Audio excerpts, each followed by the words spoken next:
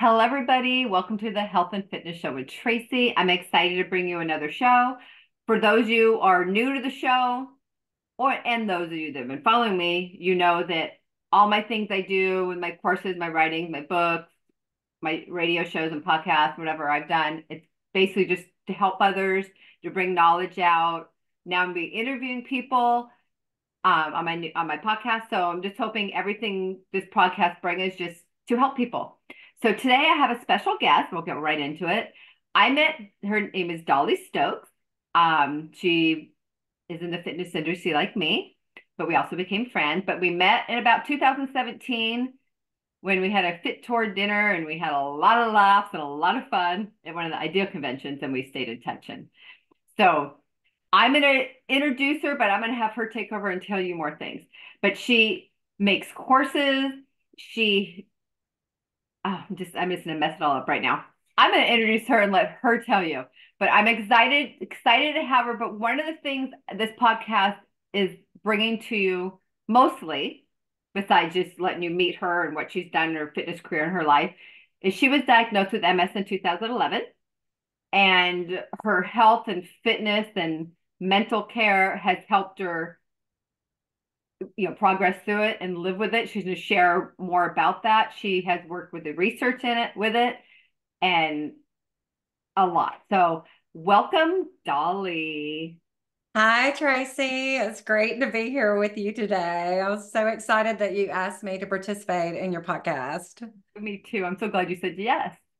So let's just right into it. Tell us more about how you work with Fittour and you've made you've made the courses there. She has great courses she's made. My favorite is the myofascial release one. I just love it. She's also a massage licensed massage therapist too. So tell us more about it. okay. well, um, so my Fittour journey is is very long, maybe older than some of the people that um, are listening. But um, I started uh, with, uh, I met Carol Ann. Some of people that follow Fit Tour and know about Fit Tour know Carol Ann, and I met her in 2002. And she was recruiting master trainers for Fit Tour. And so I was one of the first master trainers that she recruited. So that was in 2002.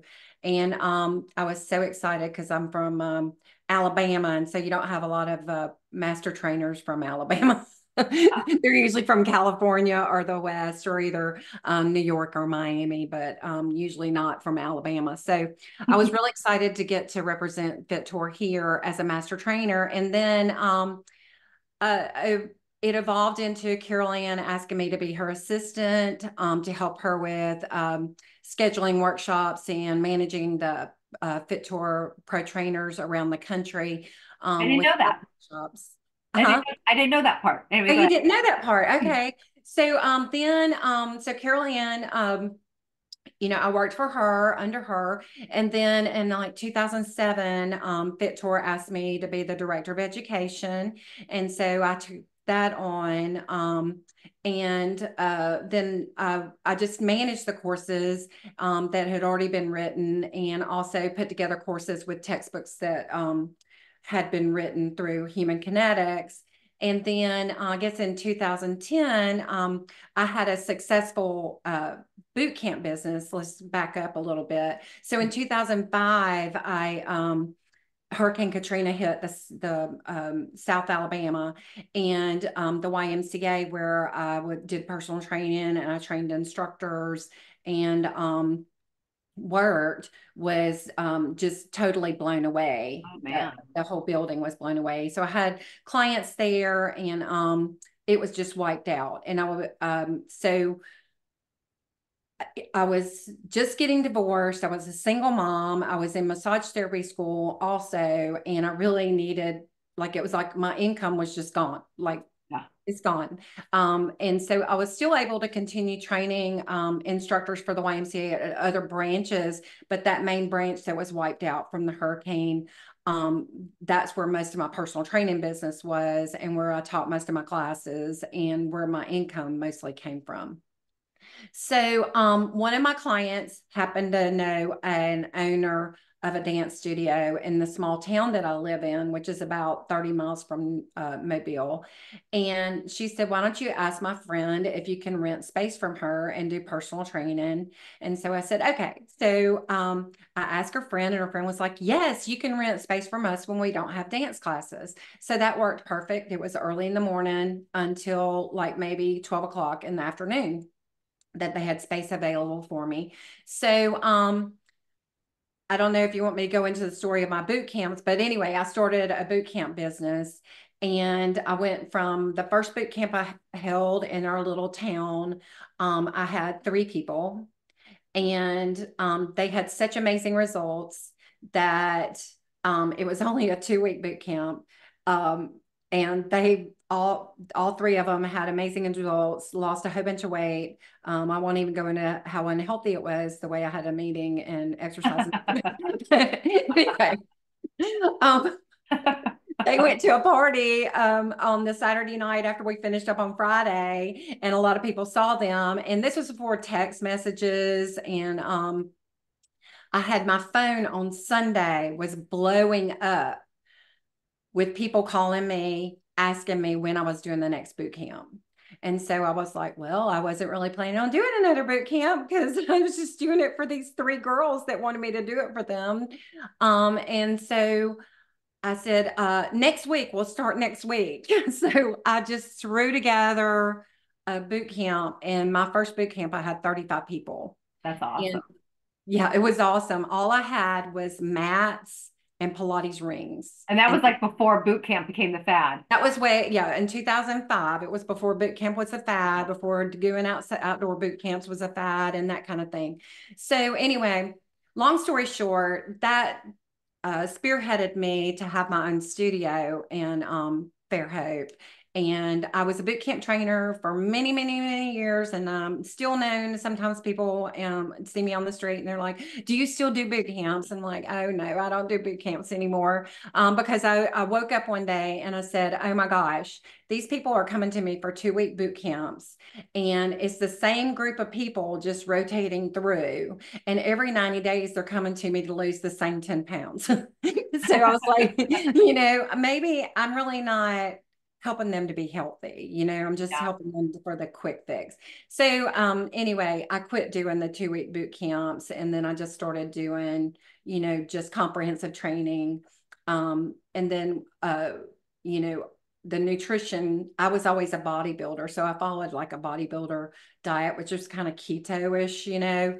And so that was the diet that I gave everybody. And then when I was diagnosed with MS, um, I had a reality check that like, hey, you think you're like really healthy and you look super healthy and fit on the outside, but then on the inside, this nutrition that you've been doing is just horrible for you.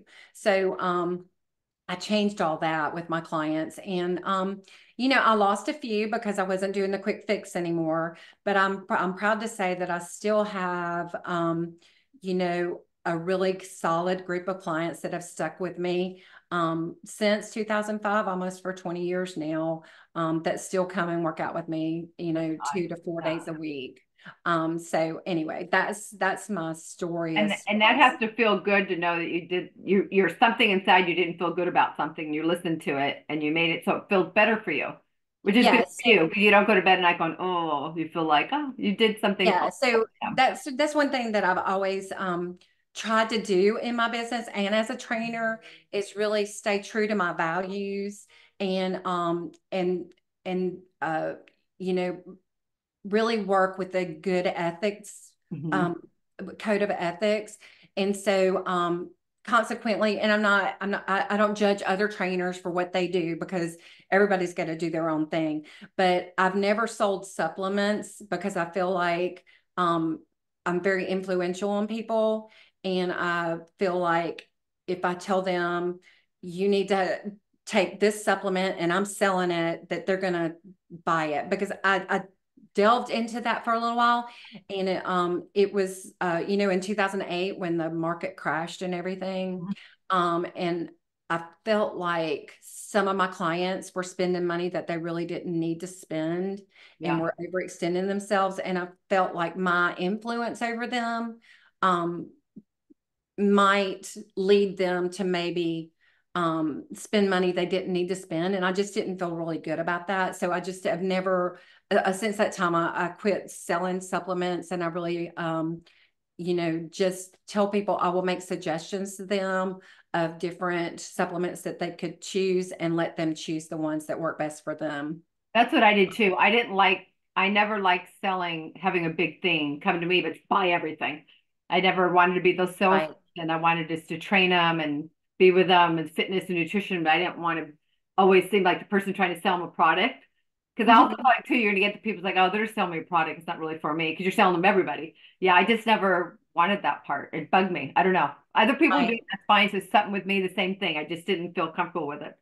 Yeah. So I mean, I don't, and I don't I don't think people that do sell, uh, you know, trainers, yeah, fitness trainers fine, yeah. that sell supplements that there's anything wrong with it. It just didn't work for me. Yeah, me um, and so I'm not really good at selling. People a lot of times want me to sell things for them, and I'm really not good at it. I, I'm good at selling myself. And that's what I sell. I am. I'm like, okay, I, I sell myself, and that's what I sell. And you know, if you like what I offer, then great. If yeah. you don't, then that's okay too. You know, uh, uh, that's one thing I've learned also in my um, what 30 something years as a fitness trainer is that not everybody's going to like you. Not everybody's going to like your style of training. Not everybody's going to like your personality.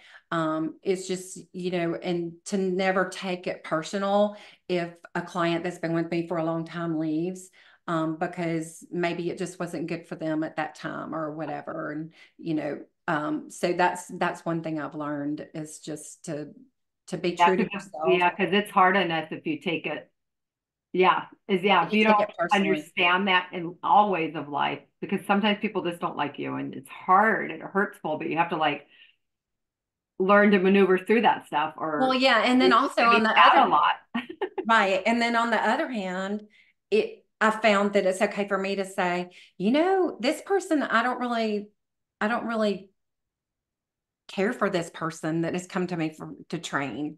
So maybe it's not a good fit, you know? And so, um, you know, and, and that's a hard conversation to have with a client. Yeah. Um, but, but I have, I've had that conversation with clients and, and, um, and in the end, it, works out better for them and for you you know um so uh, especially in the small town we're in because we well now it's you know how i don't know well, I lived in small. So it used to be a small town. When, uh, so when I first uh, started training in, where I live, um, instead of in Mobile, the big the big cities, which Mobile, Alabama is not a big city, but um, anyway, there were only three trainers, and I was one of them. So it you didn't have a lot of trainers, but now there's now we have a lot of trainers because we've had an influx of people, especially since COVID, where people are moving to smaller places um, to live. So um, you know, you don't have you don't have so many people that want to work out with you because there's so many other trainers for them to choose from. Yeah. Yeah, when I was in a small town, there was only a few of us trainers too, and it was very different than the big city. Yes. Yeah, there's both it was like it's a it was experience. uh-huh. But okay, so a couple questions for you. So one, you were diagnosed with MS, you said in 2011? Yes.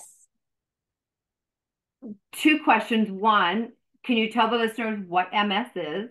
Then the next question would be, if I because I don't want to forget it, um, how did you know? Did you have symptoms? Were you doing something else in a random test and a doctor goes, hey, you have this? Or were you like, something's wrong, got checked out? So those are my okay. two questions and mix in with your story. Okay, so I'll, I'll um, let me answer what MS is. It's uh, multiple sclerosis.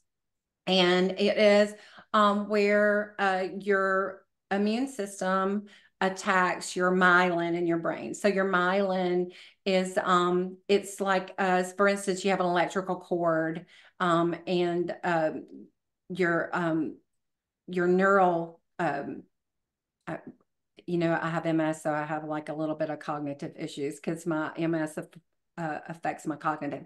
But anyway, it's like the circuit um, gets frayed. So for instance, your iPhone um, cord, if it if the uh, if the um, rubber on the outside of it um, cut, gets uh, uh, frayed or gets cut or whatever, and then the the uh, metal uh, electrical current things are are open to um, to the elements, then they can get disruptions. So that's a very good description. Okay, thank you for so like you have the sheath, saying that. sheath wrapped so, around it, then it gets yeah. all. Yeah. So the myelin sheath um, that is wrapped around your neurons gets like frayed, and then your neurons get um, like little, you know, where there's lesions. Okay, so um, we got sometimes they're called lesions, sometimes they're called plaques. So um, I guess about two year two years before I was diagnosed with MS, I started um, I can remember specifically in a boot camp workout that I was working out with my clients. We were doing skating side to side and power skates where you would pause and uh, balance on one foot and then, you know, power to the other leg. And I remember saying to my clients at the time, it was about a group of 15 girls, I said, Y'all, do I look like totally uncoordinated on my left side? Because I just feel so uncoordinated. Just and out of nowhere. You just yeah. And okay. they were like, no, you you never look uncoordinated. You're so coordinated. Like your form is so good on everything. You don't look uncoordinated. But I could feel my left side just felt like totally just I like it was my left leg was just kind of flopping around or something. Like you felt like you didn't have control. I just felt like it was I had no un, no it was like I couldn't feel where it was. Oh. Um, so anyway, that happened and I just kind of brushed it off and I was like, well, maybe I'm just imagining it. And I kept noticing it, but I just kept working through it. And was it like every few minutes or one day, not for a few days, or it just started and never stopped? No, it just started and it stayed for a while and then it just disappeared but i just really didn't notice that it disappeared because i just didn't pay attention to it anyway you know so um anyway then uh, that was probably two years before i was diagnosed and then about um in in April of 2010, we had the oil spill, the BP oil spill. You might be familiar with that. I don't know, but it was. I think the, I've heard of it. Yeah. Um, yeah, the um, BP Horizon oil spill. And so um, I live on the Gulf of Mexico. Um, where I live is on Mobile Bay, but we're only like maybe 25 miles from the Gulf of Mexico. And um, then we have a vacation home in Northwest Florida that is on the on the Gulf of Mexico. Well, um, with the oil spill, they um, put out dispersants to disperse the oil. And on the day that they um, did the dispersants, I remember walking out onto our deck um, at the river and I was like, oh my gosh, I can't breathe. Like, I can't, like, and I went inside and got my husband. I said, come outside. Can you smell these dispersants? Can you? And he said, no, I, I don't, I don't notice anything. It Didn't affect and, him. Um, okay. It didn't affect him. So then, um, after that, I started getting brain fog and um, I started getting like real forgetful and real like I was daydreaming all the time and um, just not real focused, which I've always been like super focused and super like multitasker and doing all this stuff. Well, I, you know, we didn't really notice it. I just remember my husband saying one time, like, hey, you need to pay attention. Like, you just dropped something on my foot. You know, I was like, oh, uh, I'm sorry. You know, he's like, you're daydreaming. And I was like, I, I, I'm really paying attention. I don't know. And then, um, later on that summer, I remember being at the beach and I hate to lie on the sand, like at the beach. I like to be in a beach chair. I do. I, and I love being at the beach. I love it. If you've ever been to the beaches in Northwest Florida, they are beautiful and I love being at the beach. But anyway, that whole summer, I would put put my beach towel down on the sand and just lie down on the sand and just go sound asleep, like drooling asleep. And that was never me. I was always, if we were at the beach, I was always in the surf. I was always walking up and down the beach. I was always super active. So, um, you know, I was just like, I don't know why I'm so tired. I don't know why I'm so like just lackadaisical and just not able to focus. Um, and then like in December of 2010, I um had an incident where I I was having like plantar fasciitis really bad, and so I was taking meloxicam, which is an anti-inflammatory. And um, over a weekend, I gained 25 pounds, wow. like within three days. And I was like, when I was breathing, it sounded like my husband thought I was having congestive heart failure because it was just gurgling in my chest, like I had so much fluid. Yeah, and that also makes you retain water in your yes. Your... So I went to um, my um, internist, and he ran all these tests, and he was like, "Dolly, I cannot find anything. Like I had heart test run, I had all these, I mean, just amazing tests done. He was very thorough." And he said, Are you on anti inflammatories? And I said, Yes. And he said, I want you to get off the anti inflammatories. And he said, Let me ask you this Do you uh, use sucralose or anything with aspartame in it? And I drank a whole. So when I talked about earlier that my nutrition sucked, it really sucked. I would drink every day a whole pitcher of Crystal Light every day. Good.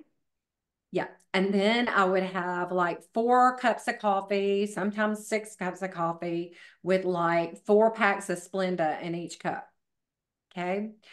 So he said, I said, yeah, I do. And he was like, that's a little excessive on the aspartame and the sucralose. Could call on him to ask you that though. Yeah, absolutely. Ask absolutely. that kind of question. Yeah. And he said, I'm concerned that you might have like sucralose or aspartame poisoning. Oh, crap. And so he said, I think you're toxic. So I want you to go off the anti inflammatories and go off the aspartame and sucralose. And, you know, if your weight hasn't gone back down, if you haven't lost this fluid in the next three days, call me and I'm going to put you in the hospital. We're going to do some stuff, some other things. So, guess and what? Were you just freaking out and going, oh my God, and worried as can be? Yeah, well, actually, Tracy, at that point, I was so vain. I was just so worried about being uh, uh, 25 pounds like plumped up. Oh, you weren't thinking health. You were thinking, no, oh, girl, no, like uh-uh, no, okay. not at all. No, I was all about like, oh my gosh, I can't fit into my tights. You know, um, all my clients are going to think I'm fat. Um, so. And in this industry, it's easy to do that. If something, oh yeah, oh yeah, it's, oh my it's God, so easy just to be so um, so physique oriented. Like we're just worried about what we're looking like. Um, so aesthetics, yes. Um, so anyway, um, when I did, so those, so I, I drank tons of water. I didn't eat for about, I fasted for three days. And guess what? I lost the 25 pounds and I, I didn't take any more anti-inflammatories because on top of the meloxicam, I would take like, I would say, oh my gosh, I worked out so hard. My muscles are so sore. And I would take like three Advils every night too. You know, I mean, I was just like wreaking havoc on my body. So anyway, I lost that 25 pounds and I was fine.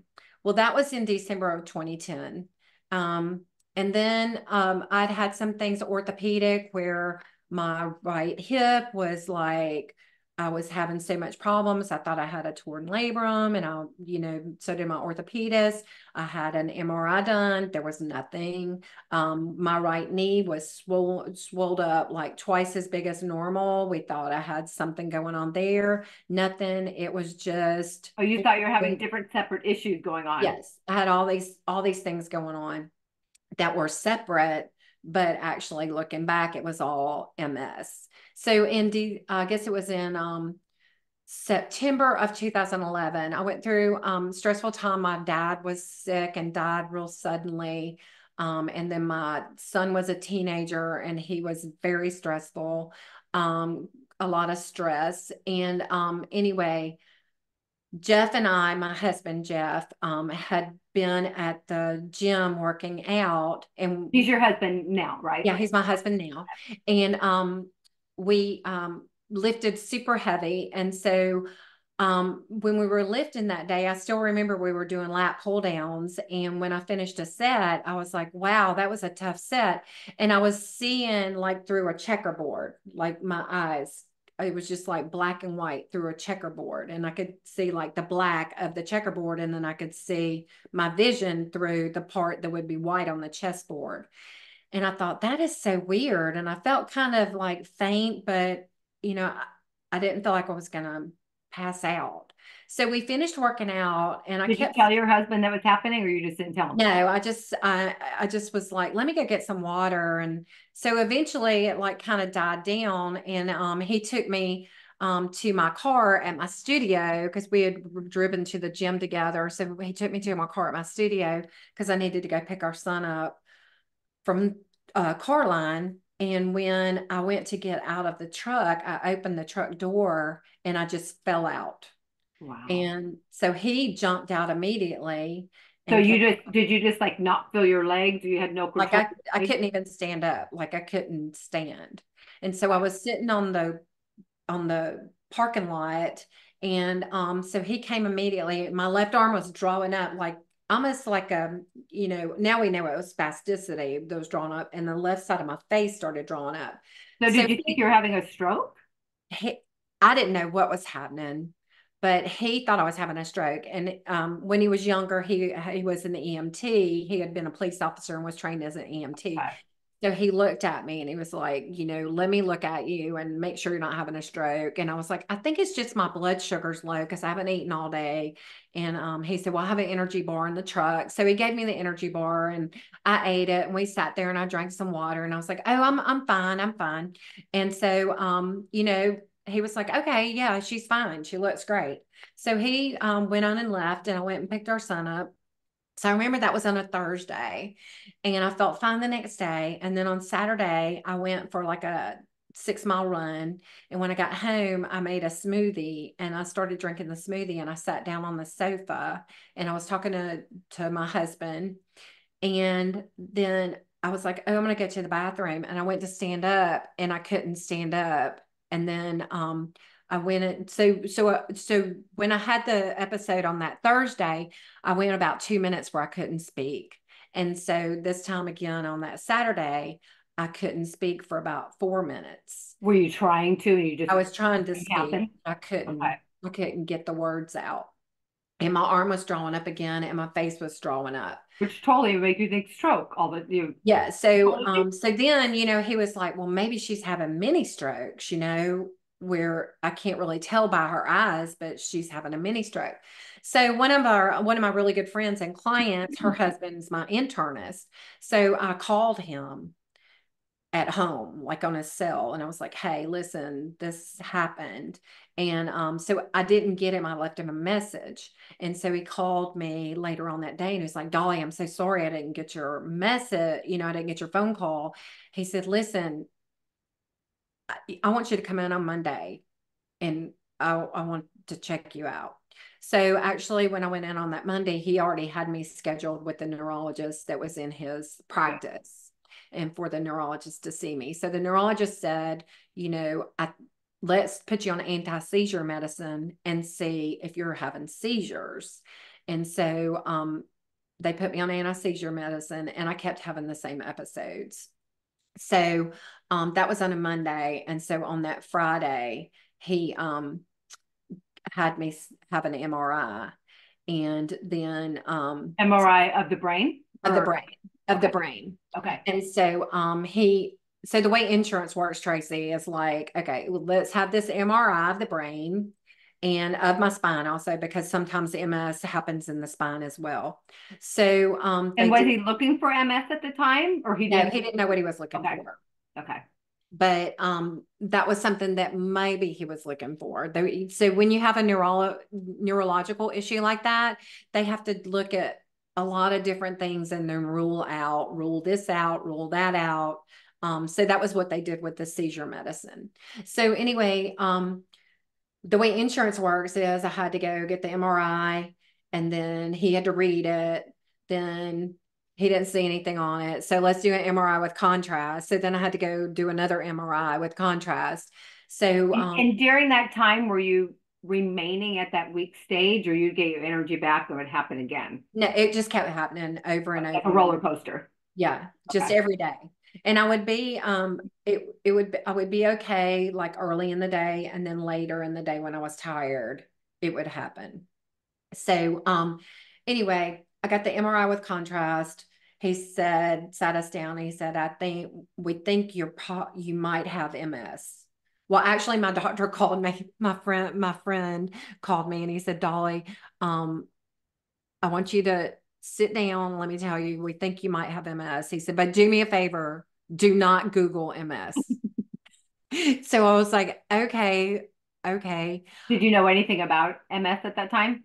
No, the only thing I know about MS was um back in like um 1989 i was doing long distance cycling like you know riding 100 mile uh, centuries.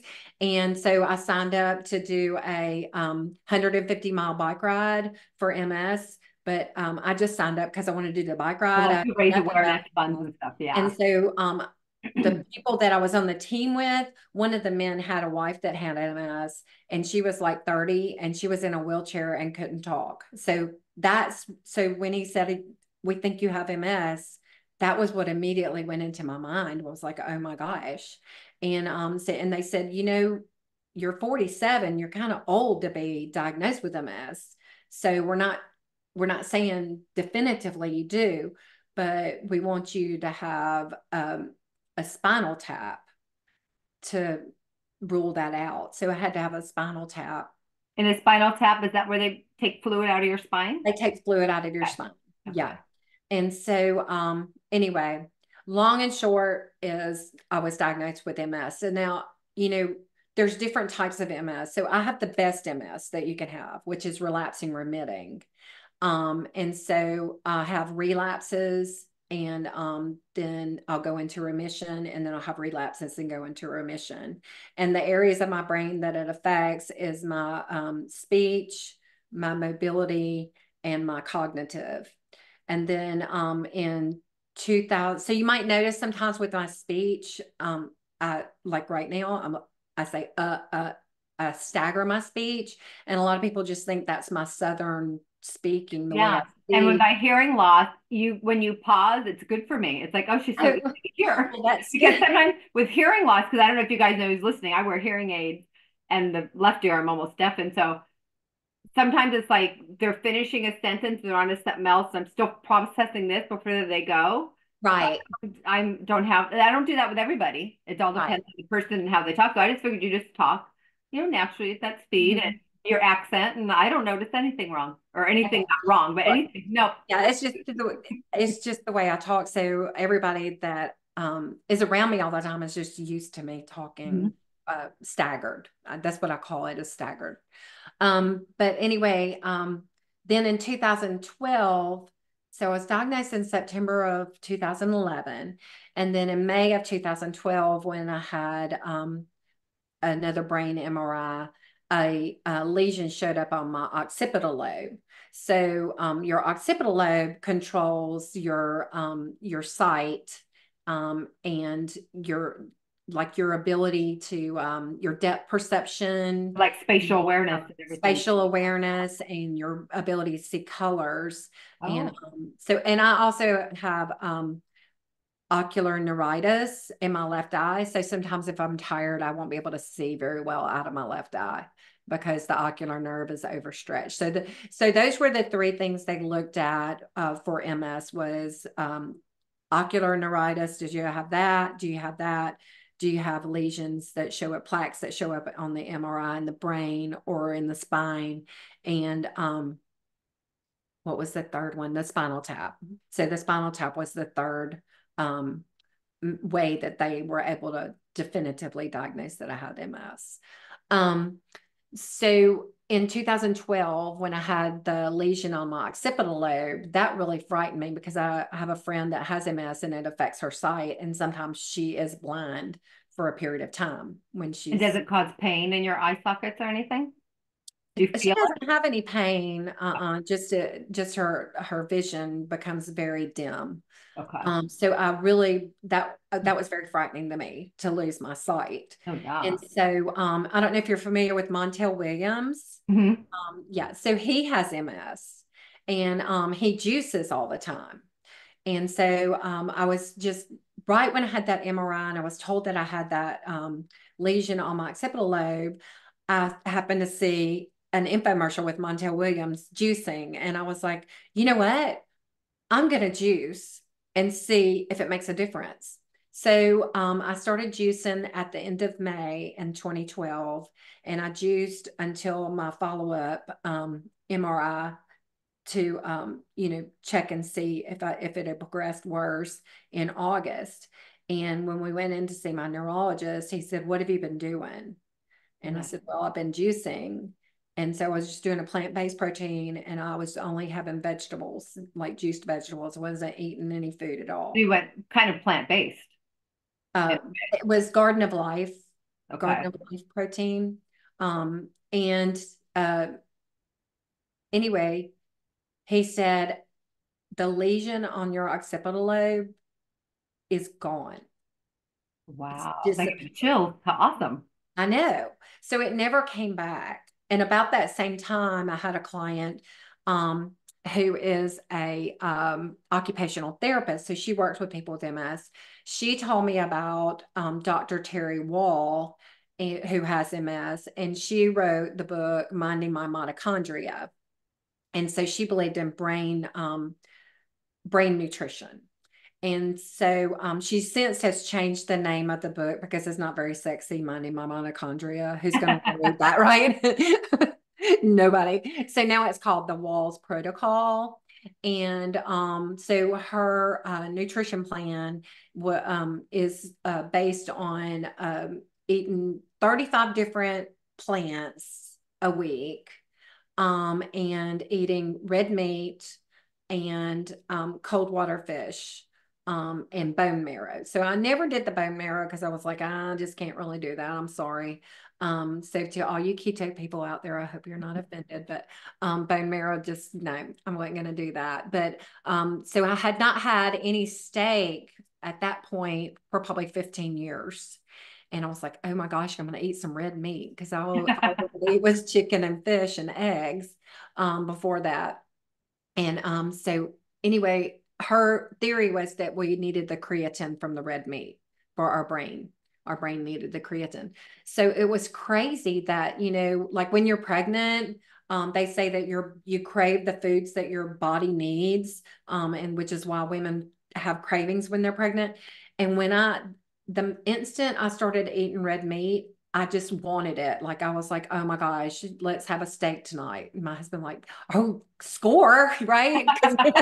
like, she never eats steak. but um, so anyway, um, so I still follow that protocol. So when I talked about earlier with my boot camps, where I really wasn't very healthy as far as the way I ate. I mean, I and were you taking creatine supplements when you were a bodybuilder, like a lot of people did? I did. Yes, I did. Oh, okay. Oh yeah. Oh yeah. Um, and uh, I wonder, do you think that delayed you getting diagnosed later? Well, you'll never know. I'll never know. I don't. I'll never know. Um, I just. I, I think that maybe it had been lying dormant. Um, and that the the dispersants from the oil spill um pulled it out because when um so when the oil spill happened, I'm sorry I didn't I didn't connect that because I got off on a tangent. But um, no, not a tangent. You're sharing your story. There's a lot of it, details to it. When the oil spill happened here, we had um, a researcher that had um, been uh, worked in Alaska with the Alaska uh, with Exxon Valdez uh, mm-hmm. when it when they had that terrible oil spill there, yeah. and that um, people in that region had brain lesions, and that the animals had brain lesions from the oil. And mm-hmm. so there's no way that we could prove it that my MS came out because of the oil spill. But I mean, I don't know. To be diagnosed at 47 yeah. and not have had any sim- real symptoms. I mean, I might have had symptoms.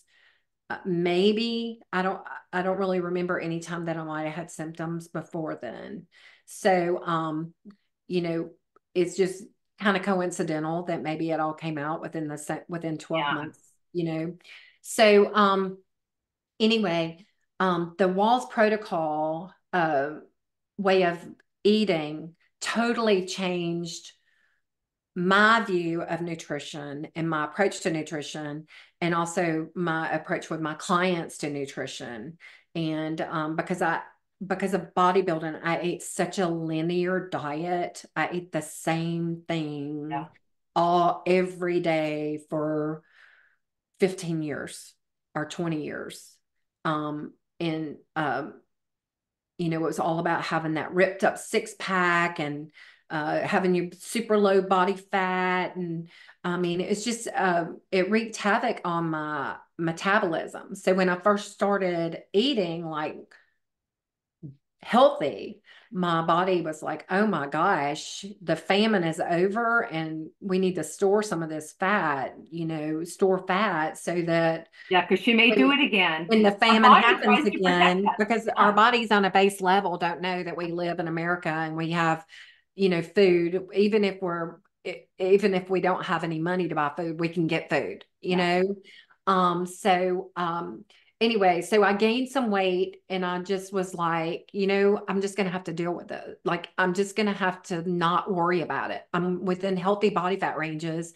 And that's, that's what matters. And so that it kind of changed. It was a paradigm shift for me uh, personally and also professionally with my clients where, you know, it's like, it's okay that you're like 24% body fat because you're healthy because that's healthy body fat ranges it's okay you know that we got a little bit of extra fluff on our abs or whatever and um so that uh, to me like you know people they don't do it so much anymore because I don't have people come up to me and say, "Oh my gosh, I'm so sorry you're sick." I'm so I'm like, "I'm not sick. I have MS. I'm not I have a neurological issue. I'm not sick." You know, um or you look so good. You don't look like you're sick. And I'm like, well, I'm not sick. I just have a neurological issue. Yeah. Um, and I'm managing it. But um, you know, the good thing is, is that my doctor, uh, I was taken off, I was taken, I was in MS, we don't have medicine. It's called disease modifying therapy. Okay. So there's no medicine because there is no cure for MS. There's no medicine that's going to cure me. I just have therapy that's going to help um, so what I took was um, I had an injection that helped uh, with my uh, my T cells to produce um, good T cells that wouldn't attack my T cells. So my bad T cells were attacking my T cells, and so it, it, the medicine that I was taken produced good T cells to um, get rid of the bad T cells. But in 2022, I started having an anaphylactic reaction to it. So um, I was really bad allergic reaction. And so wow. my doctor um, said, you know, Dolly, your MRIs since 2012 have been totally clear. Why don't we just try not being on any kind of disease modifying therapy? Because she said that since I was finished with menopause, that my hormones had calmed down and that my immune system um, would calm down also. Because the problem with a lot of times autoimmune is that you want to be careful with people with autoimmune because they might be taking something to suppress their immune system. But I've never taken anything to suppress my immune system. I just took something to kind of control my immune system. But she said your immune system's calmed down now that you're done with um, menopause, and it's called immunosenescence. Have you ever heard of that? I have heard of that. And so um, I had never really heard of it. And she explained to me that with age, your immune system calms down, and so it's not attacking itself anymore. And so let's go off of off of any kind of disease modifying therapy and see how you are. But the kicker that she said to me was, people like you that have MS that have relapsing remitting. Now, progressive MS is different, Tracy. So, so I, I'm not going to talk about that because I don't I don't know that um, immunosenescence would help with that um, because it's a progressive disease. But um, relapsing remitting MS, she said, because you've always lived a healthy lifestyle and you're so active and you eat a healthy nutrition that you're probably not going to progress any further. Which, which this um, this is not the neurologist that I originally had. The neurologist I originally had told me I needed to quit exercising. I could only do yoga and water aerobics. That probably by the time I was 70, I'd be in a wheelchair. Oh, awful. So when I went to get a second opinion, um, my the neurologist I have now, she's in Birmingham, which is four hours away from me. So I went to her when I was initially diagnosed to get a second opinion, and she said, "Yes, you do have MS." And I said, "Well, what about exercise? I mean, do I have to stop exercising?" And she said, "No, you keep doing whatever it is that you like to do. If it makes you feel bad, then don't do it, but otherwise, just keep doing it." And she was like, "You're going to be fine. You figure it out. It's going to be fine. And that was what I needed to hear because I was so depressed because I was a half, I, I never ran marathons, but I was a triathlete. I ran half marathons. Um, I ran 10Ks. I ran 5Ks. I did all my boot camps that I love to do. And I just thought, oh my gosh, my life is over. Yeah. And, um, and little did I know that um, about six or eight years later, I would have the epiphany that like, oh, you know what? All this running and stuff isn't really good for your joints. Maybe you need to quit doing that too. Um, but anyway, it was something that I enjoyed doing. And um, I don't do it anymore. I don't do any of those kind of competitions anymore, but not because of MS, but because of age. Just just because I want to be able to walk um Yeah. when I'm 80, you know. Yeah. So I decided I just needed to quit putting that kind of stress on my body. So I know I've taken a whole bunch of time talking about MS. But that's what I wanted wanted to share your I didn't know I know part of your story just a little bit, but I didn't ever knew all that. I didn't know. And I I know there are different forms of MS, but I didn't really know I don't really know the main the specifics. I've trained probably five or six people who's had MS. When I was Uh-huh. in college for my fitness specialist program, the main teacher owned a gym in Newport Beach.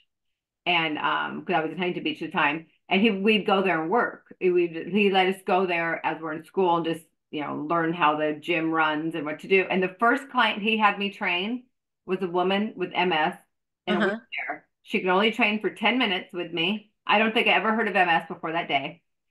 And I remember her standing up from the wheelchair and she was doing the the tricep pull downs with the rope. Uh-huh. He said, That's it. She worked out for 10 minutes. She's fine.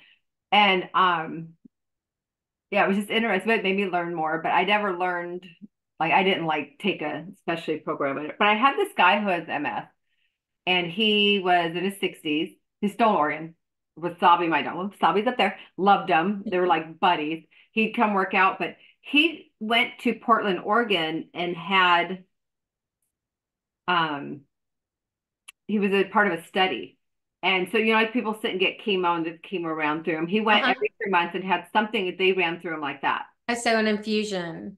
It worked so good for him. Yeah.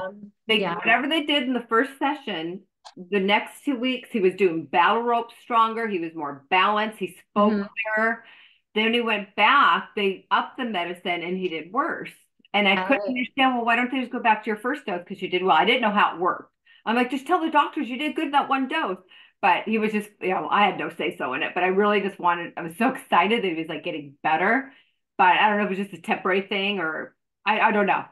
Yeah. But I watched him go up and down, decline, and some I saw him in his brain fogs. And I had, I had another client with it who they're they're just all different, just like the stroke survivors. They're all different. So what worked for one didn't work for this one, Right. and yeah, So that's the thing about MS that um, is very challenge can be very challenging for people that do work with individuals with MS is because it's just dependent upon where the lesions are located in the brain.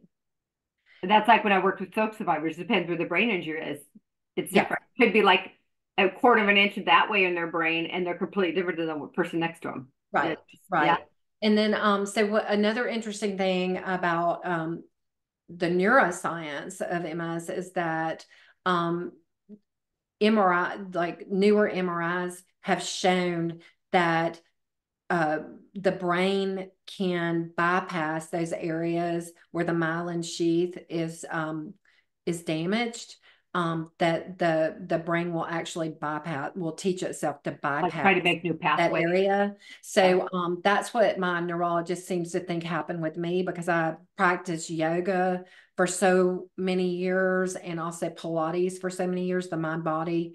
Um, and where I was doing instruction all the time, where so I had to have perfect form. So I was always um, talking myself through the perfect form. She just felt like that I might have retrained areas of my brain so that my mobility is really good. That's Um, awesome. yeah, so um so um her name is Emily Reiser. Dr. Emily Reiser, um, she and her husband, Dr. John Reiser, have a clinic in Birmingham, Alabama, and she specializes in MS and he specializes in Parkinson's. That's another thing that um, people with MS or Parkinson's, if you can get with a doctor that specializes in MS or in Parkinson's, then they um, have more time to spend with you than if you go to just a general neurologist because um, and I don't mean this in a bad way, uh, but I had a neurologist um, tell me uh, he, he specialized in MS, but he was with a neurology practice, and he said that it's all about the bottom line, and that a neurologist that treats migraines can see a lot more patients in one day than a neurologist that treats people with MS because with MS you have to spend a lot more time. So um so the the Tanner Center for MS um that's in Birmingham they um are able to spend specific time like a, they have specific time set aside to spend with each patient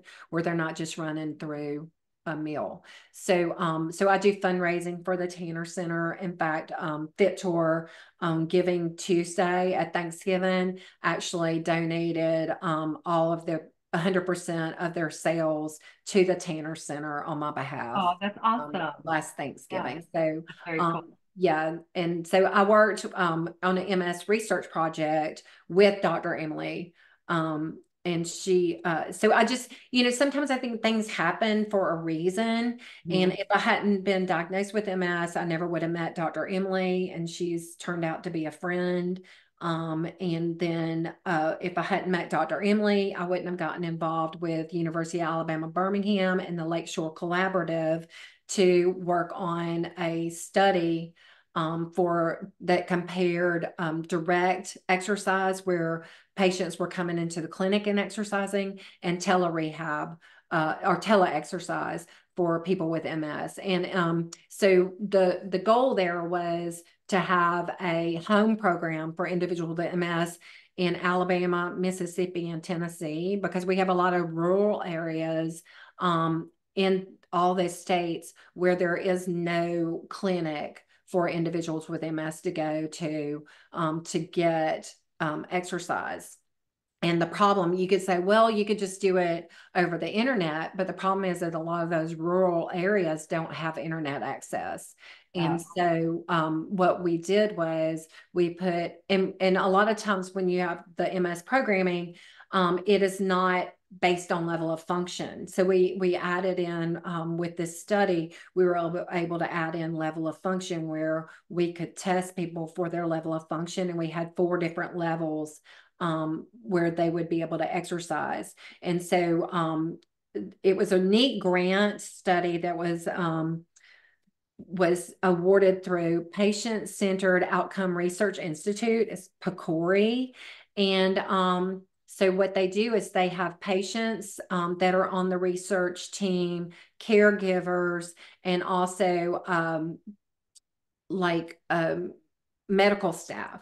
So on the research team, I was um, the exercise specialist, and we had another person who was an MS nurse who had MS, and then we had a caretaker or caregiver, um, not caretaker, but caregiver on the um, on the panel. And we had uh, a few patients on the panel also. And so um, what what what they try to do is what what my doctor tries to do is she tries to take into account how patients feel, how the care caregivers, you know, take them into consideration instead of just telling us this is what you have to do.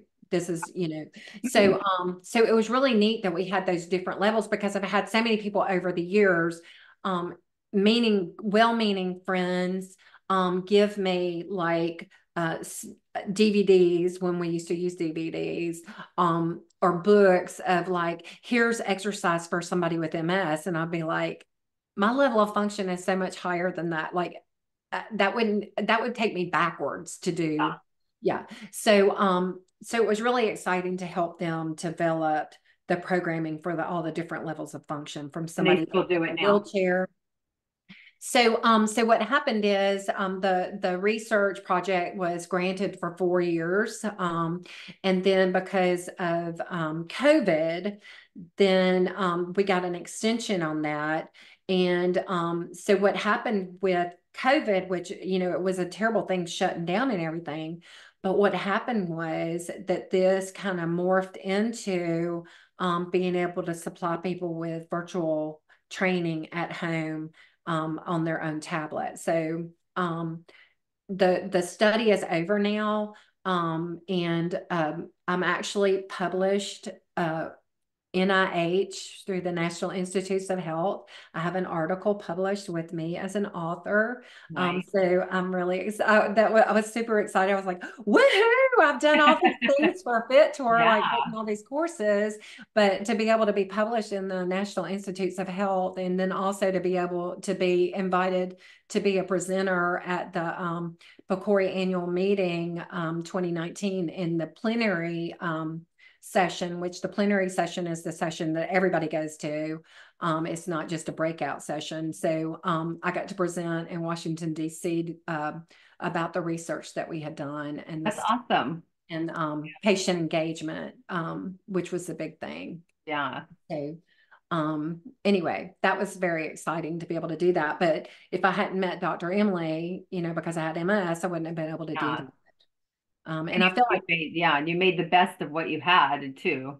Absolutely. And MS just kind of helped me um, on a personal level um, become a more empathetic person, uh, more empathetic with my clients, um, And more, you're, and it sounds like you're more empathetic with yourself too. oh, much more, much more. I used to be very, um, very hard on myself. Um, and, uh, you know, I think a lot of um, fitness professionals have like eating disorders and body dysmorphia. I mean, would you agree with that? Yes. Um, and so, Well, you know, yeah, there, there's a range of, well, especially now in the social media being so. I mean, there's apps that can make your waist look smaller. I mean, I remember going, I think was, I didn't go to IDEA last year because my spine injury and oh yeah, still dealing with that. It's way better, but it was oh awful. Anyway, but at the the one in Vegas, you didn't go to the one in Vegas year before. Okay. no, I didn't go. Someone in the industry, and I was like, it was the year that I was I, I got personal training the year the year before, and I was going on stage to present to give the award to the next person. And I felt the worst about my body ever in my life because with everything I've gone through, um, and losing my stepdad, my dad, my dog, and everything, and all the stress going on that I went through, I put on weight, and I've never been like 20 or 30 pounds overweight in my life. Right. I'd have to get in stage. And I'm just the, the one of the goals I want, I have to get in stage looking the worst that I've ever felt in my life. And I remember, and I was tired and just, just, I just felt haggard by You were going through, I remember that. You were going through so Oh, much at that time. so much. And then, you know, some of the other stuff that went down there too, that was just so Right. stressed. I was, Yes. we talked on the phone. I think I was crying when I was that IDEA. Um, but I remember someone in the industry came up to me, one of the men, and said, "Oh, you, you, I, you, you, you look young, um, younger in person." I thought, I think he wanted to say the opposite. I think he wanted to say, "You look like crap. You look better Yeah. on social media." He kind of just was him hawing, and I just want to say, "Hey, I'm tired. I've been through hell. Stop touching Right. books." But he made those comments, and I just thought, "Hmm, whatever." No. But it made me feel so like, and then also when I was, I did the um LA Times book festival last April, hmm and I had a booth there, and I had all my you know, all my books, and and people obviously came to me who read my books or know about stroke. You know that that's what gathers to me, and someone in the fitness industry I never went before met before came up to me. Her husband had had a stroke, and she was his full time caregiver. I mean, he was really bad where she could almost not leave the house. She's put on weight as well, and she was crying, and she said, "You know, I'm embarrassed because what I do for a living, but this is where my life is right now." But she, I, we related in our stories because you you know you kind of have to have this not that you want to have this image, but you you have to look what you part Right. but also we're human beings and we're you know we're in our 40s and 50s and we have the hormones we're challenging there's so many things going on at once at that mm-hmm. time. And she and, and we connected a lot. Of, and she was just an example of I'm embarrassed. It's what I do for a living, and I think people look down on me. And and I it's sad that that happens because we put pressure on ourselves because we we think we have to look that way all the time, and sometimes we just don't. And I think people, if you say stuff, you have the people say, "Well, it's just excuses. You can do it. You can do it." It's like it's not an excuse. Sometimes we have reasons. It's not a negative excuse. It's just be kind to people. That's my thing. Just be kind to people. Absolutely. So, you know, I think though, um, you know, as as fitness professionals, because we I always tell myself and my clients that we all have seasons that we go through. And, you know, not and to give ourselves grace if we're going through a bad season like i just my um, husband had a shoulder replacement um, last april and um, it turned out to be um, he had to have a reverse shoulder which i won't go into all the detail of that but it, it's not the same his shoulder is not the same and it was a lot more extensive surgery. He had to have a lot of bone removed and so that caused a lot of pain. Oh they're and, painful um, and you um, can't lay down and sleep positions. Shoulder stuff just yeah so and any anybody that uh, knows me or follows me has seen pictures of my husband he's very um muscular, very fit, very healthy. And um, he's been that way his whole life. And, um, you know, he had a that shoulder placement at 75 and he just turned 76 about two weeks ago. But it was a life changer for him. And, um, you know, when we go through those kind of health um, issues where our health goes down, our function goes down, um, sometimes it's really challenging for us to pull ourselves back up out of it. And, um, you know, I just recently wrote the active aging course for Fit Tour. Um, and, and it, you know, in, in that we do explore that, um, it, that when as we get older we're going to go through stages where our function declines um, and then just natural aging process um, that we lose muscle just naturally we gain body fat just naturally. I mean it's it's not there's no magic pill that's going to keep it from happening. And, but uh, i'm sorry what? We can't stop aging no, we can't. And so, um, you know, for me, um, writing that course, um, and I was finishing up the course as he was finishing up writing the course, as he was um, rehab as I was helping him rehab. And um, for me, it just helped me to be able to say, you know, it's okay. We're getting older. It's okay that we're getting older. It's getting, uh, it's okay that we don't look like, uh, you know, muscle and fitness anymore. That that, we're, but that we're just healthy and happy, and we can, we have a high level of function where we are right now and and we're happy with what we've got and and give ourselves grace but you know um, I think like with my clients, um, a lot of them uh, relay to me that me just being real is what makes them love training with me. Me just being authentic and saying, "Oh my gosh, y'all! You know, over the past like three months, I've gained about five pounds, and you know, I'm just having the hardest time getting it off." And I just I need to like maybe walk a little bit more or maybe just be happy with that extra little five pounds or whatever, you know.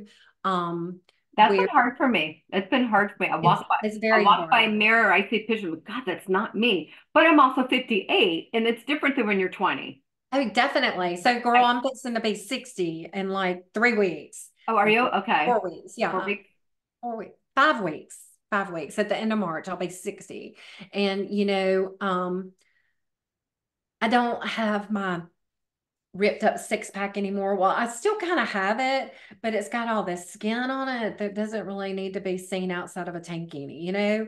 And I look back at pictures and I'm like, oh my gosh, look at how good I look. And then I'm then okay, so I'm like, why can't I look like that? I gotta work harder. I need to work it goes through and, your head, yeah. And, and then I'm like, oh my gosh, when that picture was made, I was 45. I was 15 years younger. Yeah. And and so in my mind, I'm thinking 45 is not that much younger than 60. But when I was 45, what did 60 look like to me? Yeah, it seemed like so right. far. It seemed like forever. And then, you know, women, like as women, we should build each other up. Yeah. And I had a um an a, an incident with my GYN when I was at um, my um, annual checkup. I guess it was about four, yeah, it was four years ago. So I was 56. And I was still wearing bikinis at 56. And um, as she was checking me, you know, she was pushing my belly and stuff. And she said, You know, we have like a laser treatment. We could do something with your skin on your tummy. And I said, Oh. So, you know, I was just kind of like, So you're oh. judging my tummy? well, I didn't really say anything at the time, but in my head, that that part of me that has body dysmorphia because I was like, oh, I, you know, I didn't think there was anything wrong with my tummy. But then all of a sudden, after she said that. I was like, oh my gosh, look at the skin on my tummy. Look at, oh my gosh, Jeff, look at the skin on my stomach. Oh my gosh, it's all like, uh, it's kind of, you know, stretched out. Look at, you know, he was like, yeah, you're 56. It's stretched out. I noticed it like four years ago. Like it, you know, it's been happening. Like it's it's not a big deal. But it made me so self-conscious. And you know, I thought to myself then, I hope I never say something like that to one of my clients to make them feel that insecure about themselves. You know, because I felt really good about myself walking into that appointment. And then when I yeah. left, I felt terrible. And it wasn't that she intentionally did it, she was just trying to sell me a service. And, you know, I just, I think sometimes we need to like engage our brain before we say something. Yeah. Especially I bet you never said anything like that to a client because you wouldn't. I just can't see that. Well, I hope I haven't like unknowingly like oh, like true, yeah. said anything like you know un- not consciously saying. Uh, yeah, God, I hope I never did um, either. Yeah. yeah. So, but you know, that's something as women we really re- need to realize that we need to like be kind to each other and totally and not be so about our appearance driven.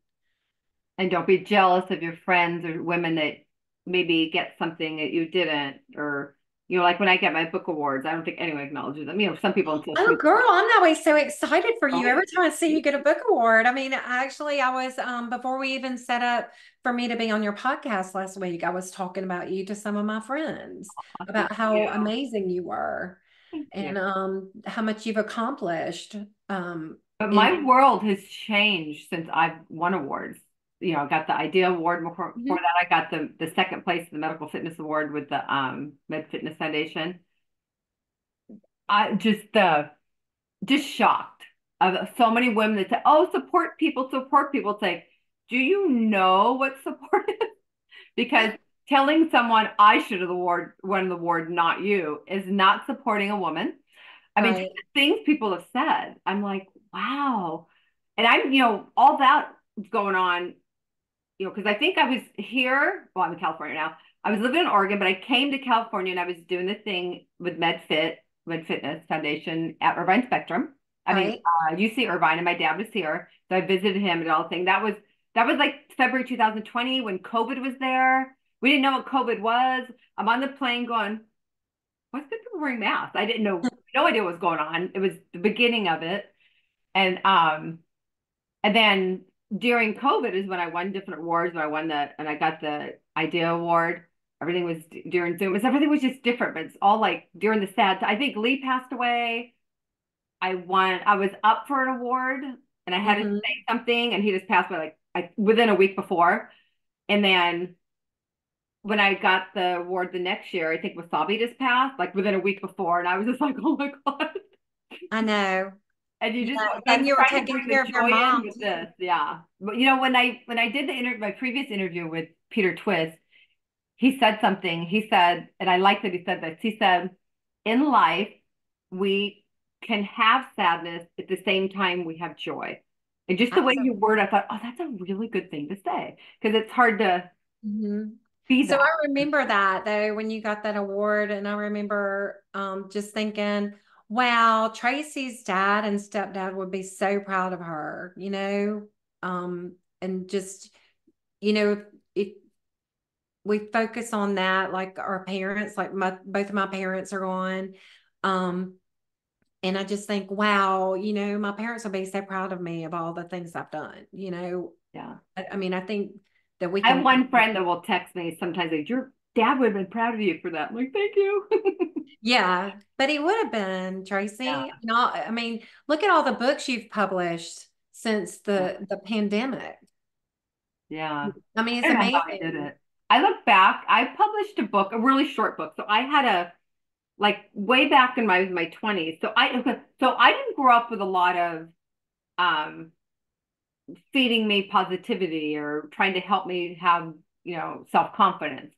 Um, my mom wasn't there. She lived someplace else. Oh, she I would see her on weekends. but I lived with my dad and my brothers. And like if I put eyeshadow on or something, when you got that on, I mean, and like so I remember when I was 21, I was I can't remember what happened, and I worked at a hair salon, and maybe a little a little, a little younger than 21. I was working at a hair salon. So I did hair through cosmetology school. I got my license. I was doing hair in hair salon. And the guy I was assisting said, you know, why don't you see the counselor at my church? I think you need to some help getting through this sad thing going through. So I did. And the lady looked at me and she said, okay, I want you to write down 10 things you like about yourself. That was like a foreign language to me. I go, I don't understand. She was, well, you have pretty eyelids, or she would or eyelashes. She would tell me something like, we're allowed to think that stuff about ourselves. So I was right. just falling and she was telling me things. You have pretty hair, you have nice green eyes, and I'm like, uh, no. So I went to counseling for a while, and so I had a journal. I'd write positive things about myself. So anything negative said to me, it was just drowned out by me reading it. So I read it like every day, just little positive things every page. And I told myself, one day I'm going to publish this. It's pretty much like, here's an image, here's a positive thing. Kind of like now when you scroll through social media, you see, right. well, I made one of my own and I still had it. And when my mom had cancer, she got diagnosed with cancer last year in October. Well, she got diagnosed on my birthday, November 9th, but she told me the day mm-hmm. after. And um, we were, you know, she was getting through tests. and They finally figured it out, and so that's a long story. But at that, somewhere in that point, right before I think I said, I'm going to publish that now. It was basically just get an image, one liner, give it. So it was a really easy thing to do. But I look back, I published that book 11 days before my mom died from my cell phone at home. It's like, I don't know how I did it. I have it blocked out. I think it was just coping. I know, girl. Man, I'm like, that was weird that doesn't sound right. I thought, why did I do that? But I think I was, I don't know. Some per I, I don't know. I did it and I But maybe you just needed to do it for yourself. I think I did. Yeah. Because I don't even think that book has sold any copies. It's something of mine. Because I said 40 years ago, I'm going to put in a book one day. I thought, okay, I'm going to do it. And then I did it and I looked back and I went, wow. Well, you, you need to put put that book on social media, girl. I don't even remember hearing about it. because it faded away with my mom's stuff. Um, yeah, my my mom was always the first person to go and do a review for me on Amazon.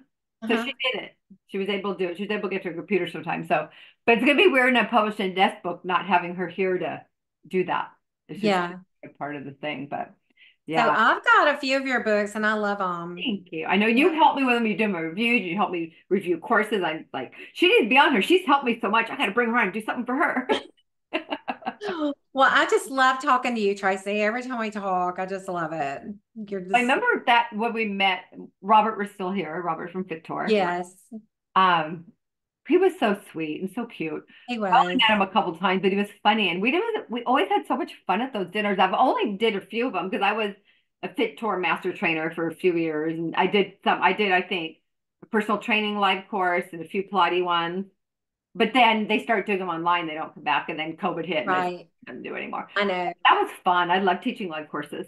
I know. I miss it. It just seems like um, people don't want to do live courses anymore. Yeah. They just want to do, uh, and I totally understand because I'm real limited in my time too. We've got four grandkids and um, we're going all the time and I'm running my studio and, um, you know, it's just uh, for time management, it's real easy just to get online and do it. But I do miss the interaction and um, yeah and I used to love the travel and meet people all over the country. Wow. And um, it was so much fun. And um, I just gotten where like going to IDEA. I wish, you know, IDEA would do things maybe not on the West Coast every year, but I understand that that's where their uh, yeah their headquarters are, so it's easier for them to do it there.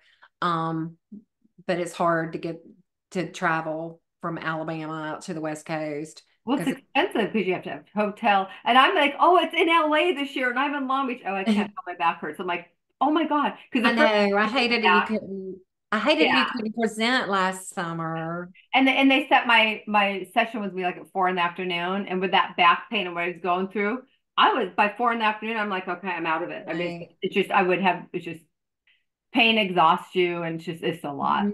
But okay, before we finish up, I know we're over an hour, but um, and I forgot the name of the magazine. I was in it. You're in you're in it several times. The fitness magazine. Oh, um, um, PFP, personal fitness professional. Yes. I'm Yeah. like, God, I couldn't remember Yeah. word. I couldn't find my copies. I'm like, I have to ask her about that. So, um, what I'll share a short story then and, and I'll ask you. So when my stepfather was diagnosed with um he was diagnosed with bone cancer, and that was around the time I think Jane Greg Justice said, you know, they wanted to do an article with you. I think he told them about me. And the article didn't come out, but I couldn't my stepdad was the person that took my photos for me. And Oh, he barely lift his body off the couch. So my mom was trying to do it with my cell phone in the backyard, and it was raining. It was COVID, so I, it was heavy COVID time. I couldn't even get the photographer I knew in town to come. Um, and my stepdad wanted to see the article so badly. And I know they wanted, they were like, well, why don't we just postpone it so things are better? I'm like, no, I have to do it. And I felt like, oh my God, I think they're mad at me. I was like, no, just use the photos I have because I wanted my stepdad to see the article so Mhm. badly before he passed away. And he got to, but he was already kind of out of it. And he's like, I can't really, read. he, he couldn't read anymore and he wouldn't tell me. But, oh, you know, but I was so grateful that they got it out. Even though if Mhm. you look at the photos, it's not, I don't think it was the quality of photos they wanted for the magazine, but they did it for me. It was so nice. I don't think I, I don't even know if I even told him my stepdad had bone cancer. I wanted, I, I wanted him to see it. I don't even remember because he was the first parent to get sick and it was shocking to me. And he was the one that he always walked and took care of himself. So when I started meeting clients at 80, I'm like, oh, you guys are long, young. I have clients that are 105.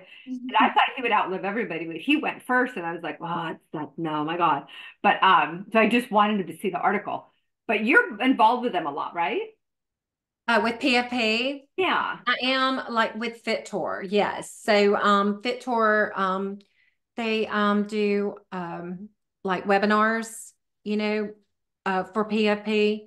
And Okay. um so I did a webinar, I think in November for PFP. And you know, the webinars for um PFP are recorded and you can always just go to their website and um just look through the different webinars and click on them and watch them. Um, so I did um, a webinar for PFP, I think in November on FitTour's new active aging course, and we just talked about that Okay. and um, what's what it what is all in it. And um, then um, in 2020, I was um, selected as um, PFP Trainer of the Month, Yes, I remember that.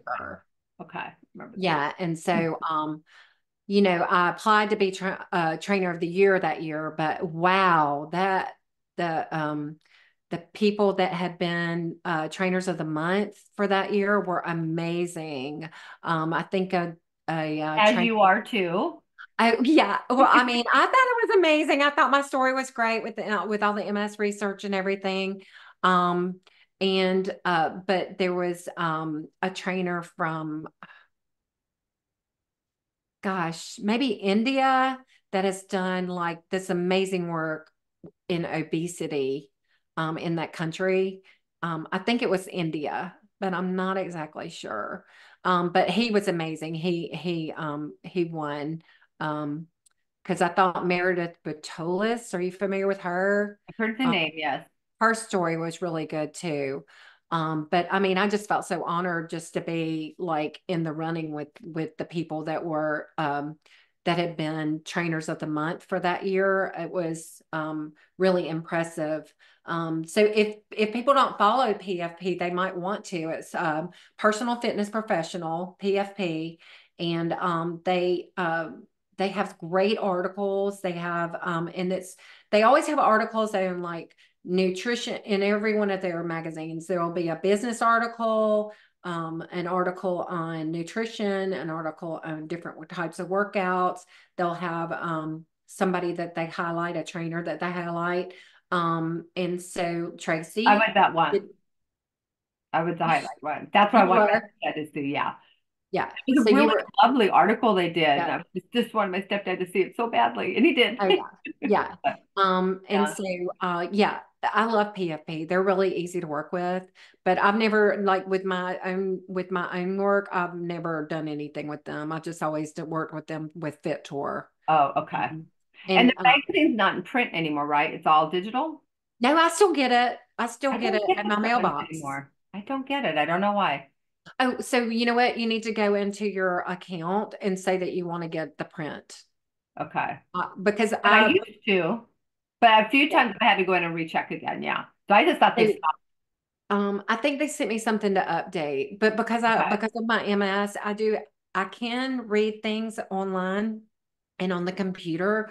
Um, but I do better if I have uh paper that I can, Me too. and hold and I can flip through and go back and read. I hate Um, reading stuff so online. that's one thing where the um online study is challenging for me, Me too. Very challenging. Unless there's a lot of talk, like when I did all my things years ago with Paul Chek and the CHEK Institute, when we did it mm-hmm. digitally, it was just like, and and the Fit Tour ones, easy because you're not going a three minute video, three minute video, three minute video. It's like you just gotta watch it and you switch Right. things, but you don't have Fit Tour. I have done every single certification they've had. I haven't been renewing them because Good for you, Tracy. yeah, every single one I've done. And um, since 2002. So when you said you started in 2002, I found them in 2002, I think, and I did one of their yoga things. Oh, Then when. I was married, I started doing more like in 2006, I think, and that's where I started doing the Pilates, which was a great course. and Mhm. I just kept doing them and then doing Yeah. them. I think your first one I saw you on was the core one or the ball.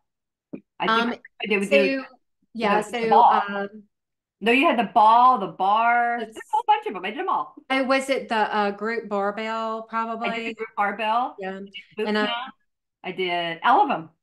yeah. I, I've done I've done a lot of their videos. Um, Yeah. and then I think I've written maybe ten or eleven courses for Fit And they're good courses. They're on the ball. They're the they're easy to learn with.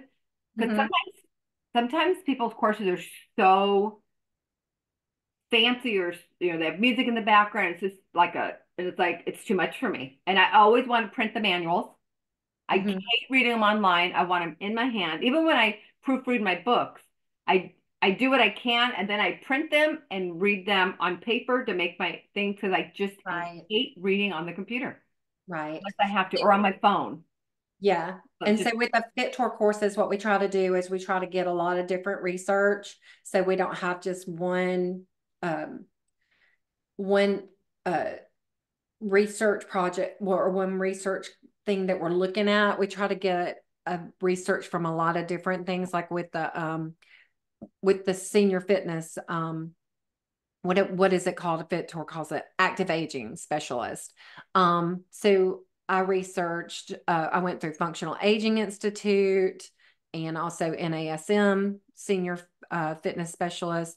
Also, um, Certified Inclusive Fitness Trainer through ACSM, and um, you know, put a lot of different information together so that it wasn't just so you know that you're get the information you're getting. I guess my point is is that it's quality information. It's not from one source, you know. Um, and it's not just like I never try to include uh, or I never do when I'm writing courses for Fit Tour, include m- the way that I train in the courses. I just tr- Right. w- I make it all general so that people can um because I think people are really um should use their own creativity and create their own programming from all the um, knowledge. the knowledge that they have.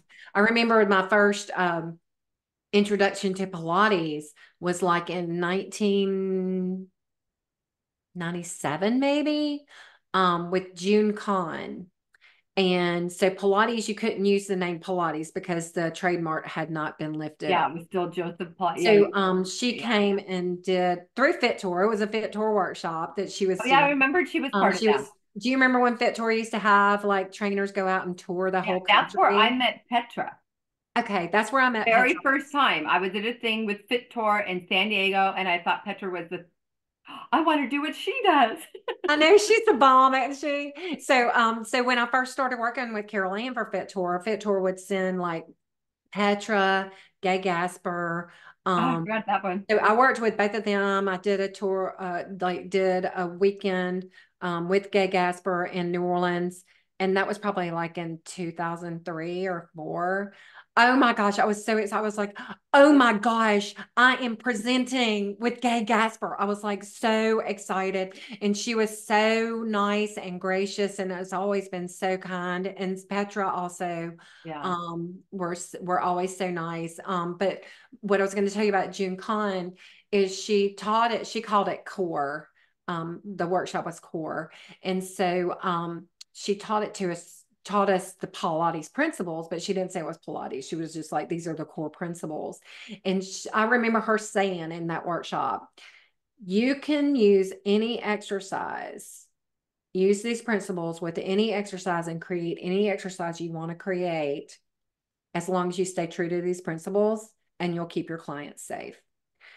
And I was like, wow, I can create my own exercise. And that was like in 97. I'd been teaching um, I guess I started teaching in like 87, maybe 88. I can't remember exactly. But I had always, you know, copied somebody Mhm. because I didn't feel like I was knowledgeable enough to Yeah. to make my own stuff up. But I remember her telling me, you know, telling us that. And it just like was was resonated with me and I was so excited and you know she just um she's always been somebody that I've always looked up to and um at idea I think um in Las Vegas maybe like 2016 we were on a panel together and I was just like so like blown away that like wow I'm on the panel with June Kahn you know yeah. um but you know anybody can be anything they want to be yeah. All they have to do is work for it. And I always, from the time I started teaching aerobics, um, I took from a, a, trainer, Jackie Talley. A lot of people know her um, in the industry um, in Birmingham, how to teach aerobics at University of Alabama, Birmingham. And I took that course from her.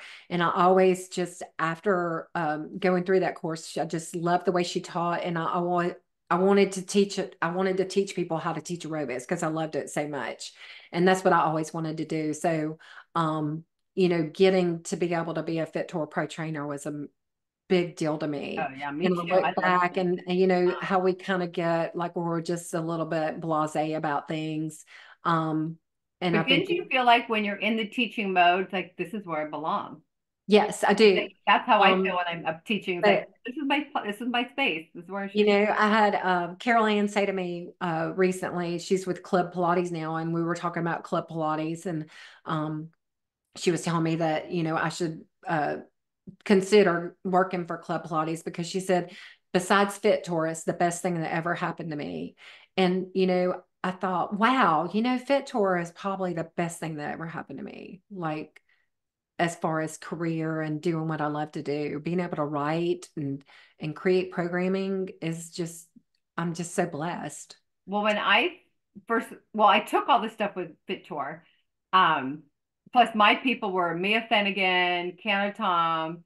Oh yeah, I love Mia and um Tamilee Webb. There were like people I worked out. Oh, I love Tamilee too. All of them. Yeah. And I love Cory Everson and her. They had the, they're all on the ESPN, and I just oh I love them, love them. Mm-hmm. But um, yeah, when I moved to Oregon, I connected to, with Rhonda on Fit Tour, and that's how I became. Oh, okay. And but I had to become AFAA certified to able to be with Fit Tour. Right. the main thing. So I got AFAA certified, and then when I was talking to AFAA, I became because I connected to Rhonda with Fit Tour and I opened more doors.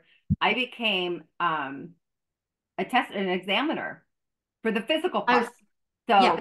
so but that was the day when you actually had to have people watch you move physically right. if you're able to know how to move your own body before you show showed other people. And that was wasn't very long i did that for because they stopped doing that. So i did that for a couple years. I trained with it did a couple things and then they kind of shifted to they're not doing the physical testing anymore you just do things online. But that's how i got to the AFA thing. But the, having the AFA certification is a backup to everything you do. You need oh, definitely. definitely um, yeah. So if I didn't connect to Fit Tour, I wouldn't have learned that. So so kind of, that was my thing too. Fit Tour played a big part in my stuff. They took oh, yeah. But And I, Rhonda's great, right? I love Rhonda. Yeah. We had so much fun in Vegas last time. Well, I was not feeling 100% and she was having, so a lot of times we just, let's go to lunch. We were, we So for those of you who don't know. Rhonda is the um Rhonda um used to manage the trainers um for Fit Tour. Um she actually I met her at a workshop that I did in Birmingham and she was working for Alabama Power and um she she uh was like the group fitness coordinator at the um club where we had the workshop and so she said if you ever need like an assistant or anything I'd be interested in working with you. And I was like, So oh, you were with Fit Tour before she was. Yes, yes. Oh, I thought you was there before. And so, um, so yes. Um, so anyway, um, when I took on the job um, of uh, director of education, I was managing the pro trainers, and it was just I was also man, you know, I also had my own business. So um, I asked Rhonda if she would be my assistant and help me manage the trainers. And she was like, sure. So, I mean, she was she was such a good assistant. She was just awesome.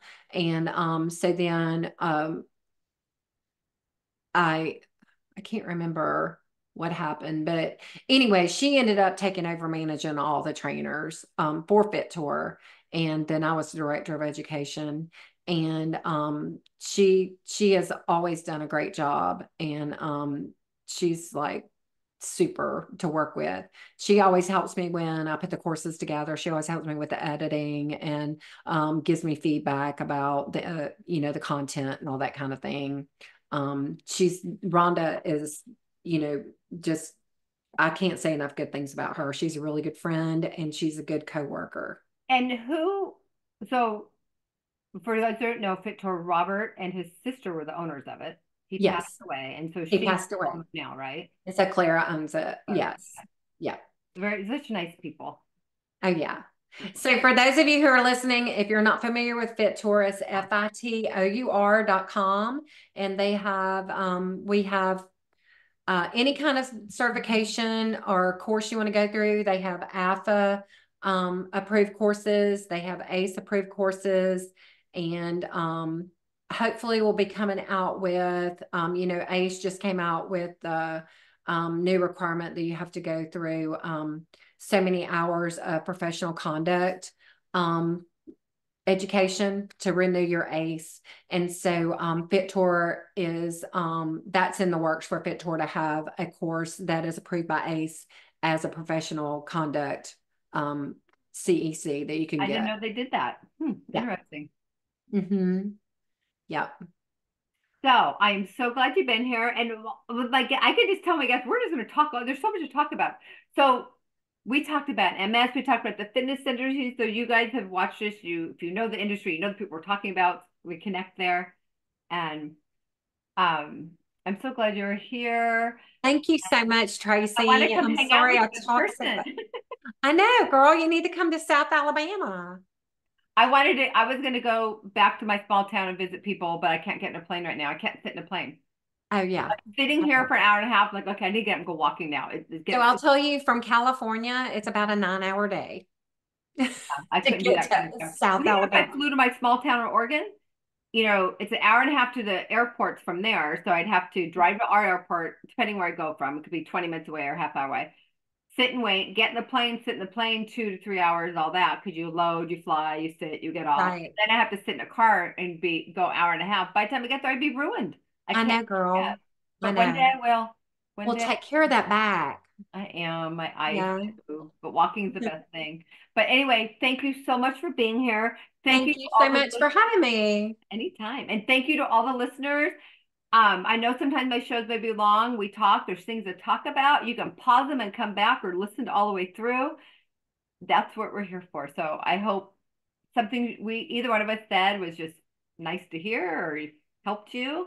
And um you guys all have a good day. I'm gonna get my things not flowing here. And we are to sign off now. So, as with Dolly, if you want to reach Dolly, if you want to go to her website or follow her on social media, give you give them your information. Okay, so my website is stokesmethod.com. And then my um, social media, Facebook is Dolly B Stokes, and Instagram is Stokes Method, and my LinkedIn is Dolly B Stokes also. And I'll put them in the wordage under this.